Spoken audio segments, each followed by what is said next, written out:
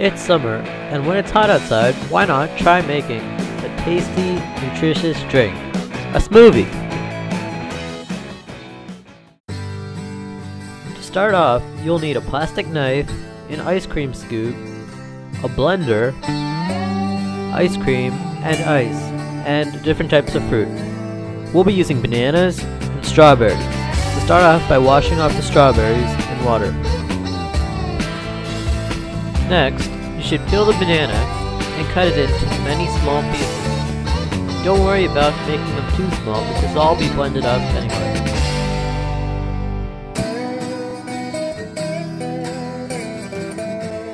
To prepare the strawberries, cut off the leafy green part and then cut the strawberries into four pieces, or quarters.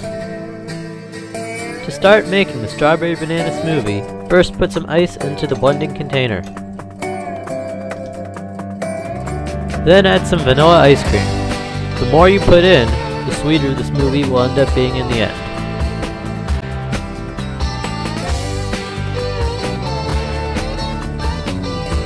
Next, put most of your strawberries in, and make sure you put an equal amount of bananas in also. Finally, add some milk so the smoothie will turn out smooth and creamy.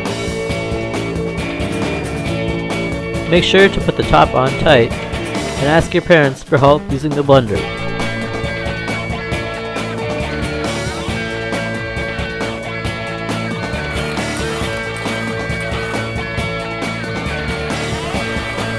Blend the smoothie until there are no ice chunks left, and then pour and enjoy.